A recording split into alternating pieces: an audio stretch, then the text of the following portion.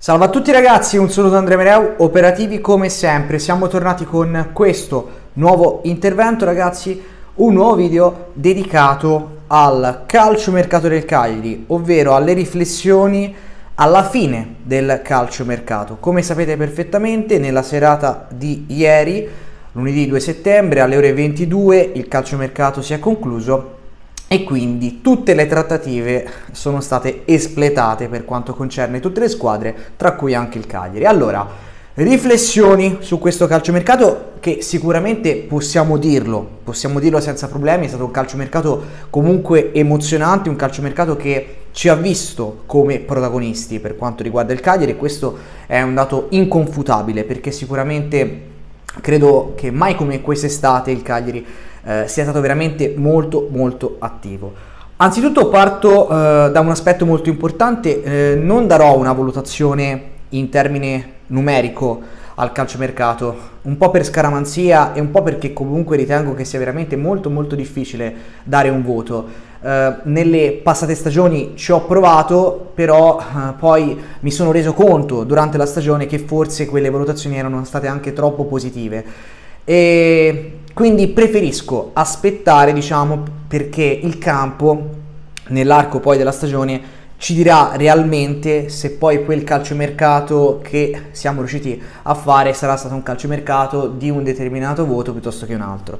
Allora, le sensazioni sono un po' contrastanti, vi dico la verità, perché certamente credo che la rosa comunque nel complesso, nella sua globalità, eh, sia stata rinforzata e su tutti credo che il centrocampo, eh, credo che siamo d'accordo tutti su questo, eh, il centrocampo, il reparto appunto della mediana sia stato quello eh, dove la società sia riuscita veramente a fare il miglior lavoro possibile perché comunque sappiamo perfettamente che c'era da sostituire un certo Niccolò Barella un giocatore sicuramente molto importante per le eh, sorti diciamo del Cagliari degli ultimi anni e quindi è chiaro naturalmente che doveva essere fatto un lavoro importante.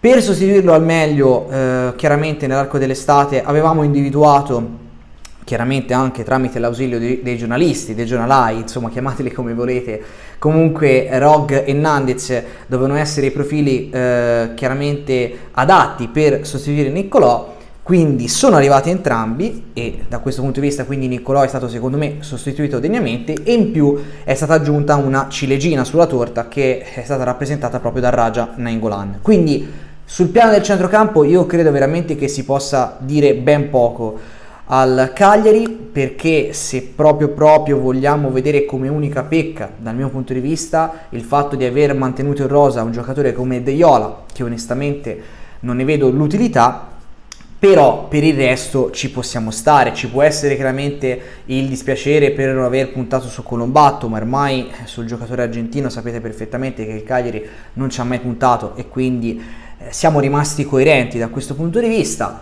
Biancu, che è un giocatore personalmente che eh, credo prometta tanto e bene magari non lo so, sarebbe stato forse più opportuno cederlo in prestito in Serie B piuttosto che farlo ritornare a Olbia, quindi critico piuttosto la destinazione, non tanto il fatto di averlo mandato in prestito, mentre per quanto riguarda altre scelte a centrocampo, sì, sicuramente c'è un po' di delusione, ma mia personale relativamente a Bradaric è semplicemente perché eh, io ero uno di quelli che pensava che quest'anno il croato si sarebbe potuto riscattare eh, dimostrando realmente il suo valore, purtroppo eh, sapete perfettamente insomma le dinamiche del calciomercato eh, si sono sviluppate in una direzione che hanno portato chiaramente il croato ad essere uno degli esuberi. Però sul piano del centrocampo io credo che si possa dire veramente ben poco alla società. Il problema semmai secondo me si può riscontrare sia a livello difensivo ma soprattutto da un punto di vista offensivo. Allora, parto dal discorso offensivo, che è quello che mi preme maggiormente. Per quale motivo? Il motivo è molto semplice. Fino a qualche settimana fa avevamo una situazione no, di eh, un attacco in sovrannumero e quindi di cessioni e di uscite di giocatori che dovevano essere fatte necessariamente. E ok, fin lì ci siamo, perché chiaramente non potevamo iniziare la stagione con otto attaccanti, eh, proprio a livello generale, ma anche per un discorso chiaramente di lista, di 25, regolamento, i giocatori del settore giovanile, sapete perfettamente sono di tutti i discorsi che abbiamo già fatto. Però ragazzi, però vada bene chiaramente il discorso di Simeone che è stato preso prontamente per sostituire l'infortunato Pavoletti e quindi va più che bene questo tipo di ragionamento.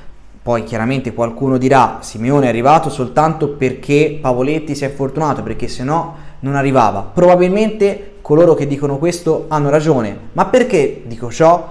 Perché avrebbero potuto avere torto nel momento in cui, considerando le varie uscite che ci sono state là davanti, Han e Despodov, chiaramente su tutti, mi andavi a prendere un'altra punta, una seconda punta nello specifico. Se tu mi avessi preso una seconda punta prima della fine del calciomercato, allora coloro che dicono Simeone è arrivato soltanto perché Pavoletti si è fatto male, avrebbero avuto torto da questo punto di vista. E invece probabilmente avevano ragione perché nell'idea della società, non si sa bene perché, c'era la volontà realmente di puntare sull'attacco così come praticamente si è andato a concludere il calciomercato. Giusto per fare una sintesi, Simeone, Joao Pedro, Cerri, Ragazzu e poi c'è Pavoletti. Ma Pavoletti sapete perfettamente che la gravità del suo infortunio è tale per cui sarà un miracolo vederlo in campo nuovamente in questa stagione.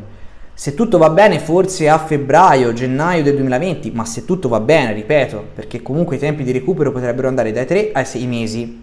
Quindi capite bene che a seconda no? dei tre o sei mesi il discorso cambia completamente. Quindi io personalmente non capisco per quale motivo la società alla fine del calciomercato abbia deciso di cedere a Nedespodov.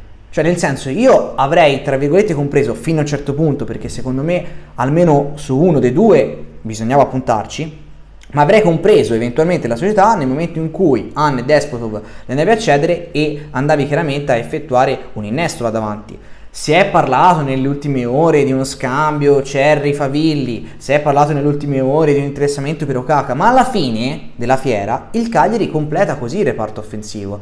E ragazzi, personalmente per una squadra che gioca con il 4-3-1-2, avere alla fine 4 attaccanti disponibili, perché Pavoletti in questo momento è come se non ci fosse, Secondo me è un po' pochino. Qualcuno forse mi potrebbe anche dire, ma sai, forse Birsa viene visto come seconda punta. Io sinceramente come seconda punta non ce lo vedo. Però se dobbiamo ragionare veramente di punta, di attaccante, secondo me Birsa non lo è. Birsa è più un trequartista.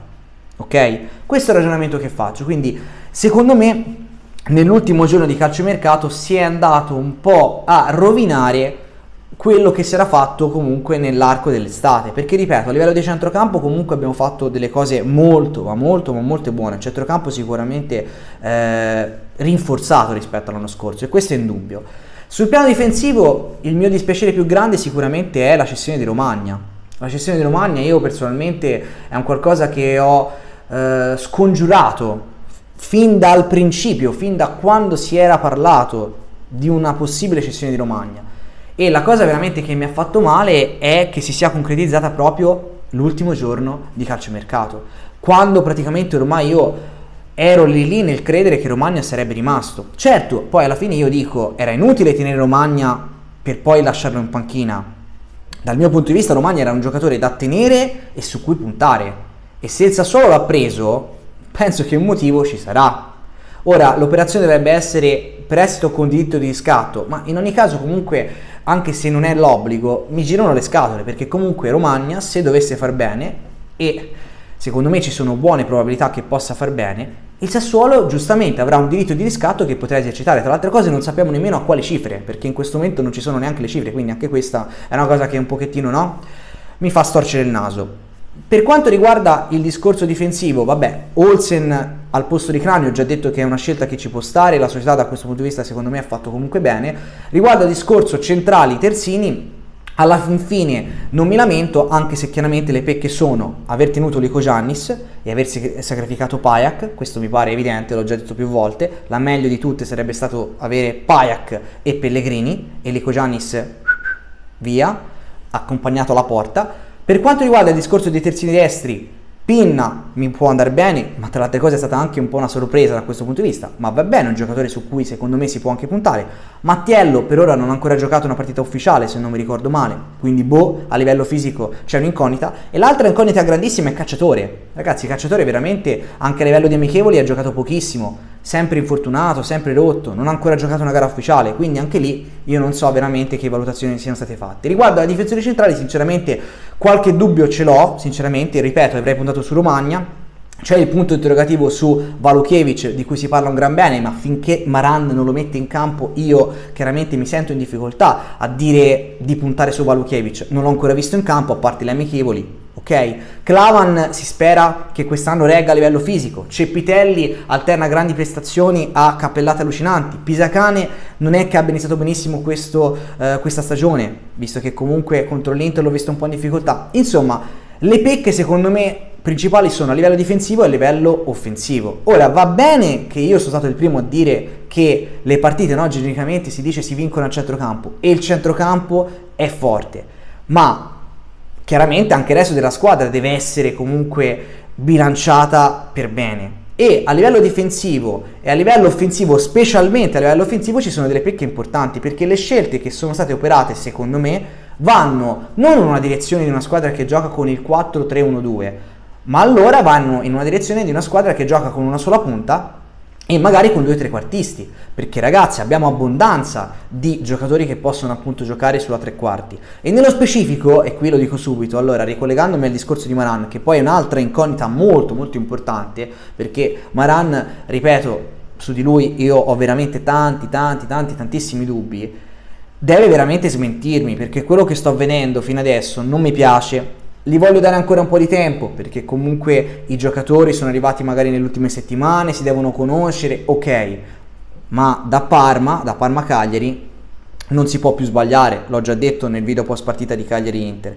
E allora, caro Maran, incomincia a svegliarti anche su dove e come per utilizzare i giocatori, perché il segnale che sta dando nel voler utilizzare Nangolan regista, quando Nangolan regista è sprecato e quando potrebbe rendere al meglio il trequartista, quando hai poi un Cigarini e un Oliva soprattutto, che sono due giocatori secondo me su cui bisognerebbe puntare per non sfiduciarli come hai fatto con Anne e soprattutto con Despodov, perché alla fine Despodov è stato sfiduciato da un certo punto di vista e quindi alla fine è stato costretto appunto ad andarsene in prestito, quando secondo me ci si poteva tranquillamente puntare meglio Anne e Despodov di quel paracaro di Cerri.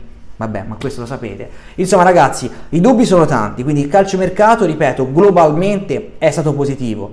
Ci sono alcune ombre, sinceramente, che mi lasciano qualche dubbio, specialmente per quanto riguarda il reparto offensivo, ma oh ragazzi, ovviamente come sempre sarà il campo a parlare, sarà il campo l'unico giudice supremo, per questo motivo che io non do voti, dico che è stato fatto un buon lavoro, ma nell'ultimo giorno di calciomercato secondo me si è un po' andato a rovinare quello che si era fatto nelle settimane precedenti, quindi la valutazione è positiva, ma non estremamente positiva. Il campo ci darà comunque quello che sarà stato l'operato della società, chiaramente in termini di scelte di calciomercato e anche ovviamente per quanto concerne la guida tecnica, perché evidentemente la fiducia che è stata data a monte a Maran con un rinnovo di contratto che come sapete perfettamente non trova il mio assenso, staremo a vedere appunto se verrà premiato con dei buoni risultati sul campo o se invece ci sarà qualcuno che si dovrà prendere le responsabilità di qualche scelta secondo me discutibile. Queste sono le mie valutazioni a livello generale, spero di aver snocciolato i temi principali, eh, non è facile insomma in un video, eh, questo video durerà 14 minuti, ragazzi ho cercato di sintetizzare il più possibile, ragazzi fatemi sapere le vostre considerazioni qui sotto, se volete dare un voto al calciomercato del Cagliari fatelo pure, un bel pollice in su, un'iscrizione al canale. E ragazzi ci vediamo, ci vediamo presto con altri nuovi interventi. Un saluto a tutti ovviamente, forza Castello sempre, ciao ciao!